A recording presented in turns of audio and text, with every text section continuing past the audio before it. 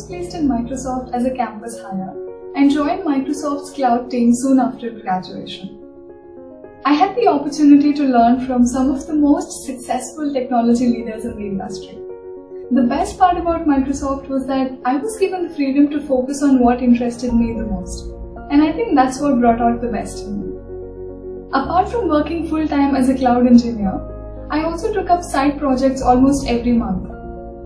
I took up hackathons. Uh, I also took up uh, training projects, and I had I would host technical events. And I also had the opportunity to train clients across India, Kenya, and the USA.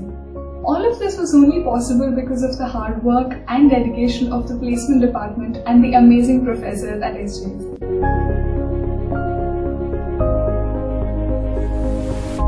The pandemic has certainly impacted the job market. We know there's no denying that. But what we also know is that the pandemic is not permanent. The job market will get better sooner or later. And when it does, you want to make sure that you're ready for it. So consider this a gift of time.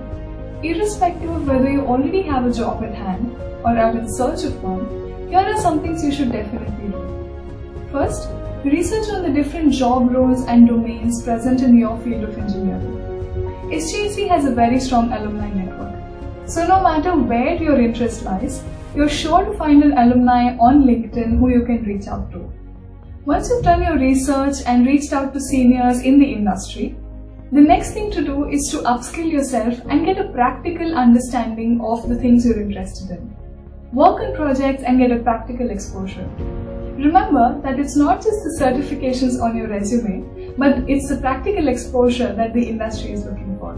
All the best.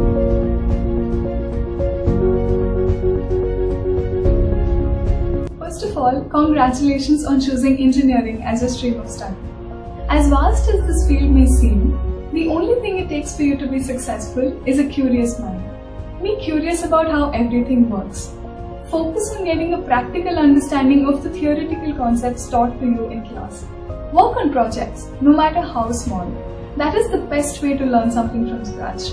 And always remember, whatever you do, focus on the purpose and impact. Think SJEC, the first thing that comes to my mind is the peaceful environment. Any SJEC alumni can speak to the discipline that this environment instills in its students. And this discipline has taken us a long way, both in our professional and personal lives. Having said that, the college very well understands that all work and no play is no fun at all.